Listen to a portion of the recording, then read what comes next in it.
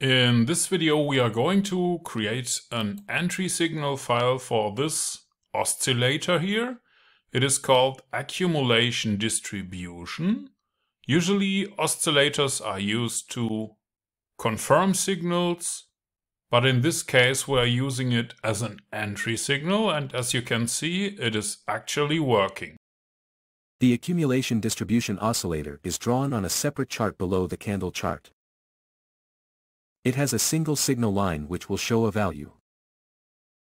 To use it, we create a separate MQ5 file inside of the directory where the other files of the Platin system are located. The name of the file is checkentry underscore iad.mq5 and it contains a single function that is called checkentry. This function calculates the buy and sell signals for our system. Actually oscillators are not meant to generate signals, they are rather used as filters for other indicators. But that doesn't mean that we can't use them, because all we need for our trading system is a working signal that is well defined. We start by creating a string variable for the signal. That will later be returned to our main function, but before we do that, we need to create the signal first. We also need to create an array for price data. And with array set as series we sort our array from the current candle downwards. Afterwards we can create our definition for the oscillator by using the IAD function that is already included in MQL5. The first parameter is for the current symbol on our chart and the second parameter is used for the currently selected period on that chart. The third parameter can be used to select the applied volume. We will use volume underscore tick here. Now let's use copy buffer to fill our array with data. The first parameter here is the definition that we have created above. Parameter 2 is for the buffer that we want to calculate. This oscillator has only one buffer, so we set it to 0. The next parameter is for the candle where we want to start. We pick the current candle 0 and in the next parameter we define the number of candles that we want to calculate. In our case we do it for 3 candles. The last parameter is for the target array, that is our price array.